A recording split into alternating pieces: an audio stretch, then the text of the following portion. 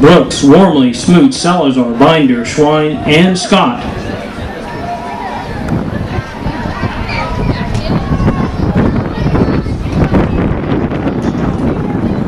Binder of Sam Houston State. Again, he comes in with the number three time in the 800 meters, doing some speed work today.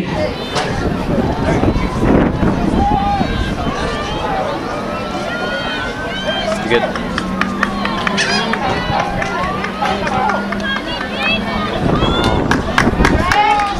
Salazar of A&M Corpus Christi also running well. It's Binder and Salazar to the finish.